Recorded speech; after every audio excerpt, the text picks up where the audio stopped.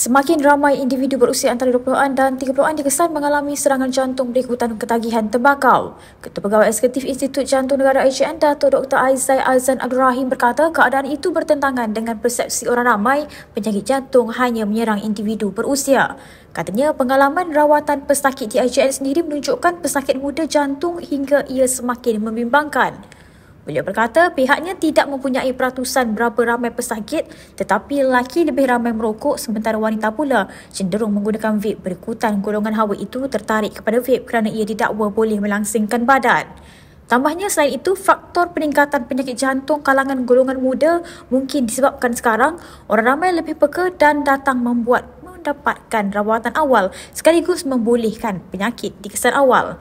Tambahnya lagi, namun ia semakin membimbangkan apabila meningkatnya perokok tembakau dan vape kalangan usia muda yang menggunakannya serentak sekaligus akan membuatkan lebih cepat serangan jantung kerana kesannya dialami mereka dua kali ganda.